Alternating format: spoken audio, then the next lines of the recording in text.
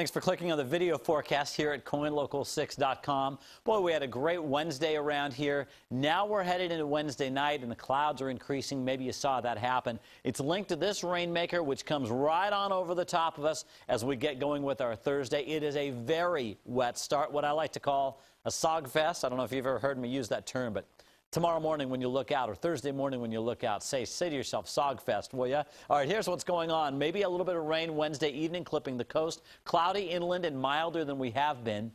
Here we go, Thursday morning.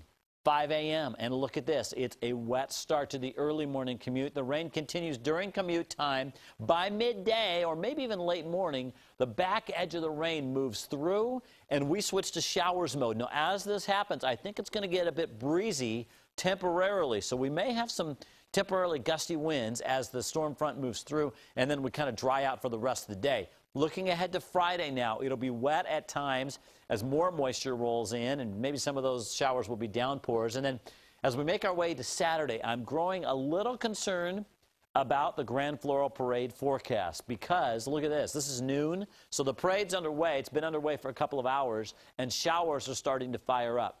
At 10 a.m., it may still be dry, but I be, had to keep a chance of showers in the forecast. Uh, now, I want to talk about something that happened along the Oregon coast this week, and maybe you saw our live reports on it on KOIN Local 6.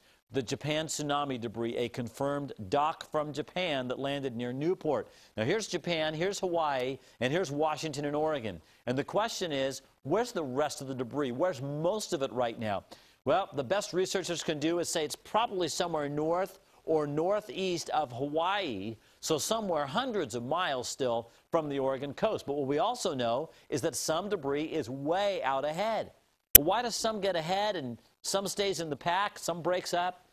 Well, there's so many complicating factors. Of course, the lighter items, or those that float on the surface the most, can usually get pushed along the fastest. The tallest items, same thing. But there are other factors to consider on timing tsunami debris and why it is so hard to do. Some debris actually breaks apart and changes shape and speed during its journey. Some debris will get caught by storms, and in particular parts of storms, maybe it'll get pushed off course a little bit.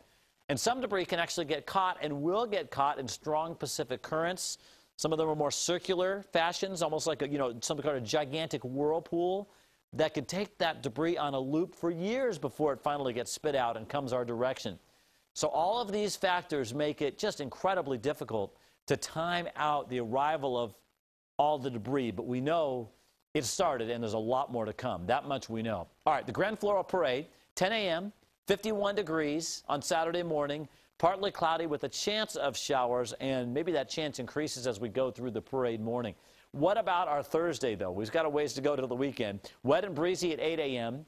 It's going to be breezy with showers at lunchtime. And isolated showers, I think increasing sun really, and a nice finish to the day. Not too bad, huh? 63. 62 on Friday with rain at times, and just cannot totally dry out Saturday.